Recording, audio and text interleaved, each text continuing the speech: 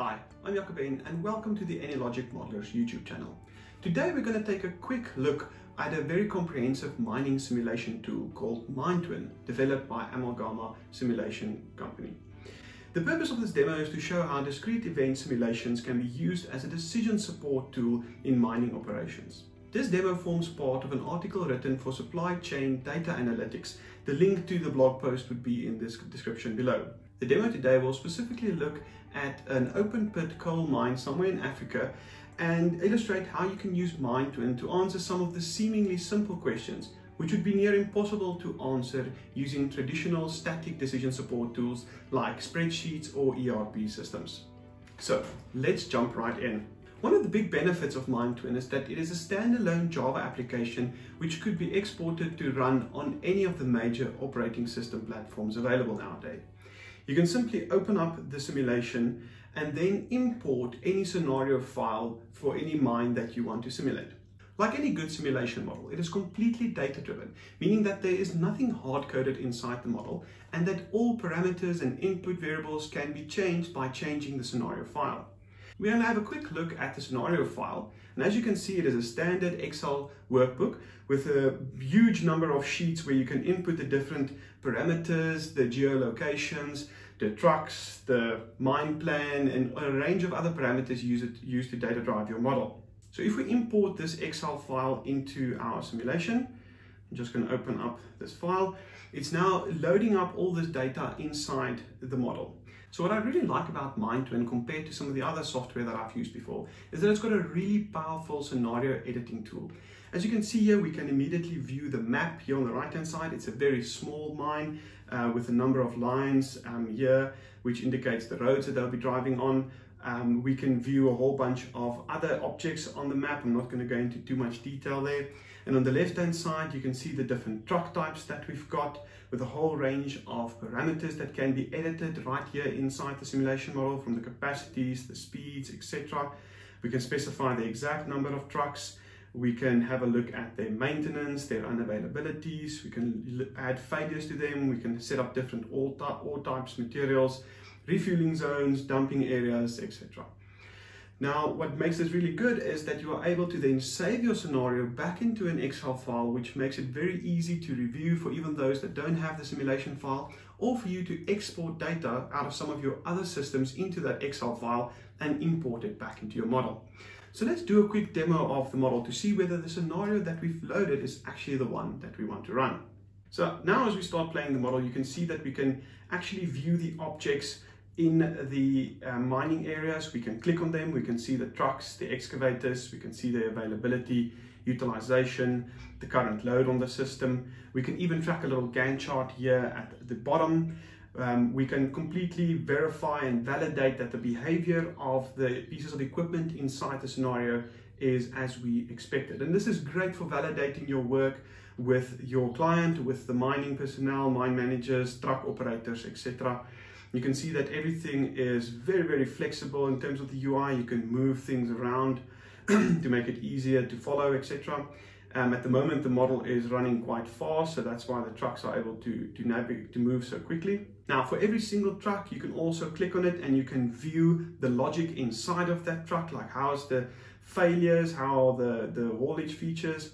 We are also able to view the schedule, like what was planned, what is the truck actually doing, is it loading, is it moving, is it unloading, is it going in failure. There's also a number of cumulative flow diagrams which can be used, performance of your mine, how much of the ore has been exposed, how much of the overburden has been moved away, how much is your uh, buffer stockpiles, etc. And these cumulative charts are very, very powerful.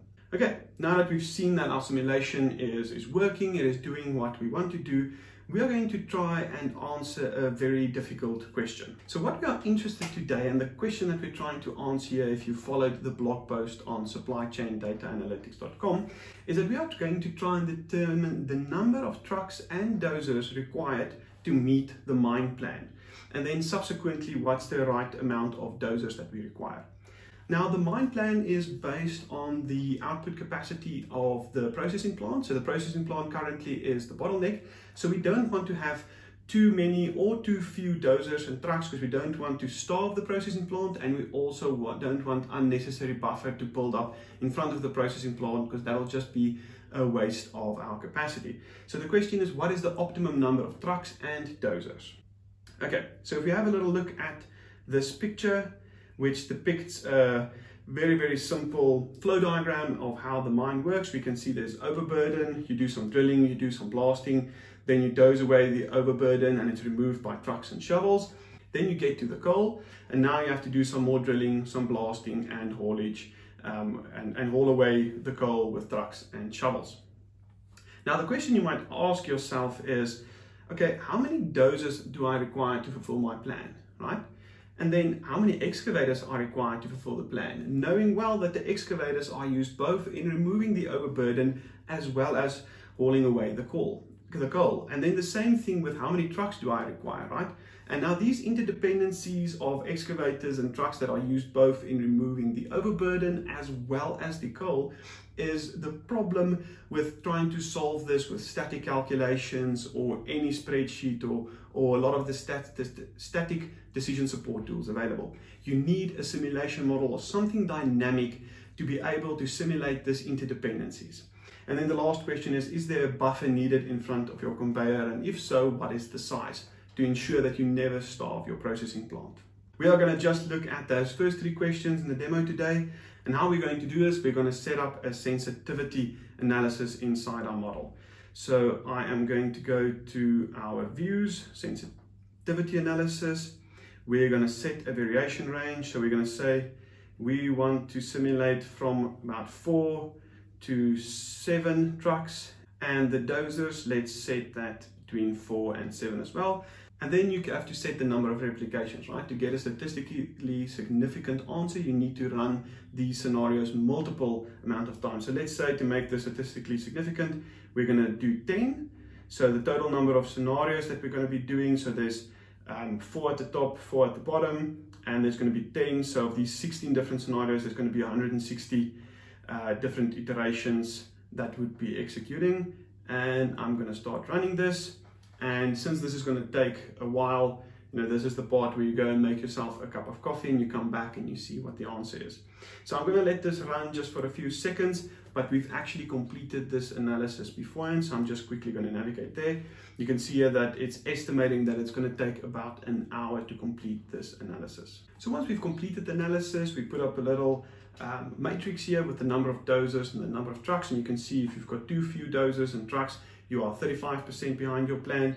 And as you gradually increase your dozers and increase your number of trucks, we get to a point where we've got a you know, plus 6% uh, fulfillment rate of our plan, and this is at a 95% equipment availability. And what's really interesting here is that if you increase your trucks just by one truck more from six to seven, we actually see that we don't see the same level of improvement that we've seen with the number of when we increased the trucks previously in one of the other areas, but we actually see a decrease, even if it is just 0.1%. Um, and this, a lot of the time, is due to the congestion that you get at the different areas inside the mine where things are now starting to wait for one another because there's just too many of them. So we know that we need to use six trucks and seven dozers. So now the next question is, how many excavators do we need? So if we redo that exact same sensitivity analysis, this time we're changing the excavators from one to four, because in the previous example, we had unlimited excavators to make sure that they were never the constraint. Now that we've determined the trucks and dozers, we're saying, okay, we're going to increase the excavators from one to four and see where's the point where we start meeting our plan. And we can see from this little table that as soon as we get to three excavators, that we start meeting our plan. And whether we do three or four, right, that's buffer uh, capacity that we can install inside the mine. Okay, thank you so much. That's it for the demo today. The links to MineTwin and Amalgama, uh, the supply chain data analytics um, website would all be in the description below. If you like this video, feel free to subscribe, hit the bell to get notifications of future videos, um, or visit us at the AnyLogicModeler.com and hope to see you soon. Thank you so much.